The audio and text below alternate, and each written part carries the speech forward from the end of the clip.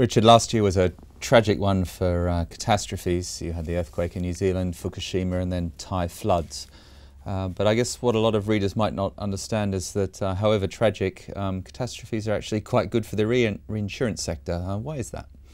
It's simply because just as whenever there's a disaster, it's going to be a great time to boost your premiums again and put them up. So you, they call it re-rating. They will go and re-rate their Australasian risk, their Asian risk, and basically charge more for a disaster in one area. Now it's the same when you or I prang our car.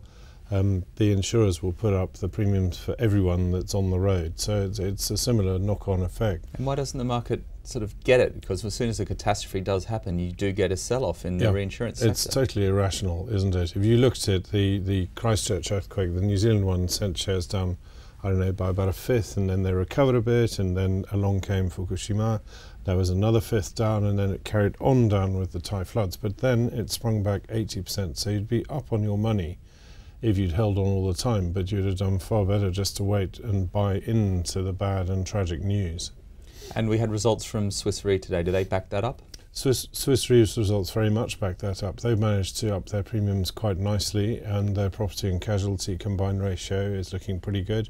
You want that to be well below 100%, and it's in the 80s, so probably 96 on a fully blended um, basis. But if you if you look at their broad results, property and casualty, they've done pretty well, and life and health less so. They've had a few one-offs in there, but broadly you don't just look at that, you look also at the investment yeah, so they take the money in, in, and then they invest exactly. it, right?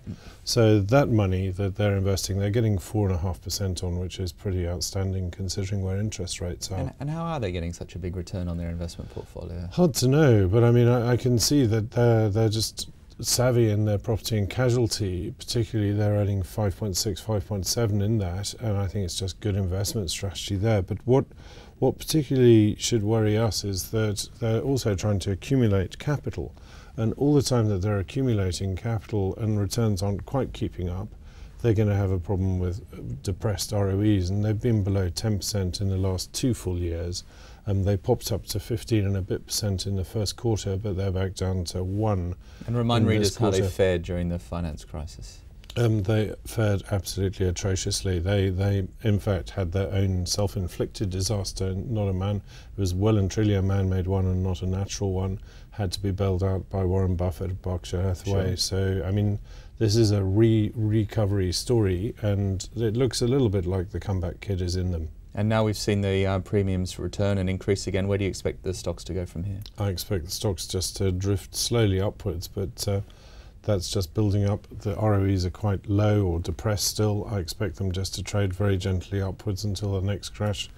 And then uh, I'm sorry to say, this is a very ghoulish thing to say, you should climb in straight away. Of course, no one wishes for more catastrophes next year, but it looks like things are going well for this sector. So thanks very much, Richard.